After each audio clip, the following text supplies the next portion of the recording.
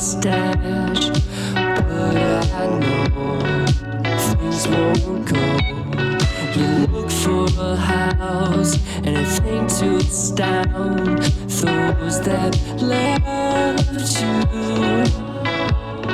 I'm never too grand, but you couldn't ask something true. The things I